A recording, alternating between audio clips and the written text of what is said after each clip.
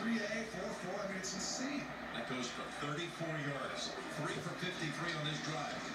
Roethlisberger goes back to Ebron. He's got a first and goal to go. And this is the best drive the Steelers have put together in a long time.